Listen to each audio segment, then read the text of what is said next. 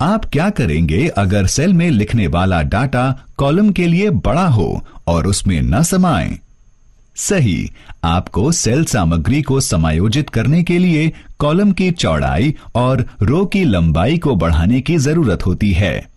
चलिए जानते हैं कि कॉलम को कैसे चौड़ा कर सकते हैं। कॉलम की चौड़ाई बदलने के लिए कॉलम के शीर्षक पर क्लिक करें। होम टैब में सेल ग्रुप के फॉर्मेट ड्रॉप डाउन मेन्यू पर क्लिक करें। कॉलम विथ विकल्प का चयन करें। कॉलम विथ बॉक्स प्रकट होगा। कॉलम विथ बॉक्स में इच्छानुसार कॉलम विथ दर्ज करें।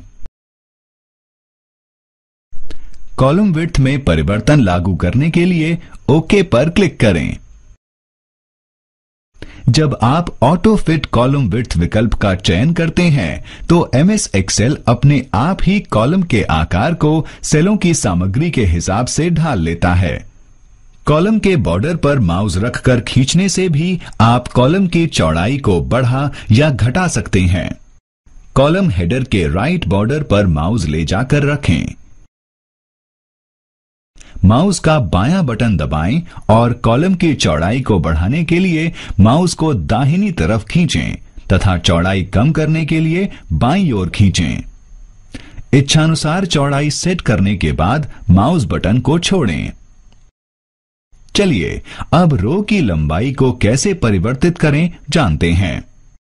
रो की लंबाई परिवर्तित करने के लिए रो शीर्षक पर क्लिक करें। होम टैब के सेल ग्रुप के फॉर्मेट ड्रॉप डाउन मेन्यू पर क्लिक करें। रो हाइट के विकल्प का चयन करें।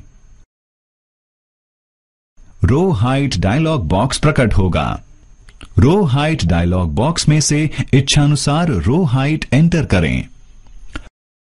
रो हाइट बदलने के लिए क्लिक करें ओके रो हेडर बॉर्डर को माउस द्वारा खींचकर भी आप रो की लंबाई बढ़ा सकते हैं।